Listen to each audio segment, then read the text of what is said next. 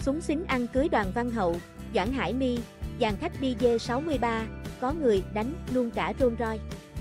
Hộ tống dàn khách mời đến dự đám cưới văn hậu là những chiếc xe đắt đỏ. Sự kiện thu hút sự quan tâm của cư dân mạng trong ngày 26 tháng 11 chính là đám cưới đoàn văn hậu, Doãn Hải My. Đúng như dự đoán, cô dâu chú rể đón tiếp dàn khách mời khủng, là người nổi tiếng không chỉ trong làng bóng đá mà còn ở lĩnh vực giải trí lẫn giới thượng lưu như huấn luyện viên Park Hang-seo và các cầu thủ đội tuyến quốc gia, vợ chồng Sát Hưng, Hòa Minh Di, Lã Thanh Huyền, Bảo Hân. Cặp đôi hot nhất hôm nay gọi tên Văn Hậu và Doãn Hải My. Không dừng lại ở đó, khách mời trong đám cưới Văn Hậu còn gây ấn tượng khi sử dụng loạt xe sang đi ăn cưới.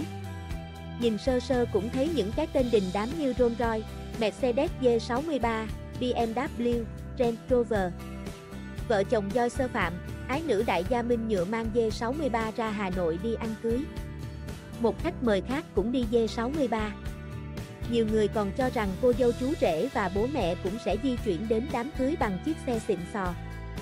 Bởi lẽ chú Doãn Thanh Sơn, bố cô dâu đang sử dụng một chiếc Mercedes D63 và từng đích thân lái để hộ tống con gái về Thái Bình. Trong khi đó đoàn Văn Hậu lại đang lái một chiếc Ford Macan. Ngoài ra các cầu thủ đến dự đám cưới đều sở hữu loạt xe sang như Hoàng Đức mới tậu Mercedes G63, Quang Hải đang đi một chiếc Mercedes. Vì vậy dù không lọt vào khung hình nhưng dân tình cũng dự đoán hội cầu thủ đi ăn cưới Văn Hậu bằng xế xịn. Bố Doãn Hải ly lái Mercedes G63 hộ tống con gái về Thái Bình. Văn Hậu đang sử dụng Porsche Macan.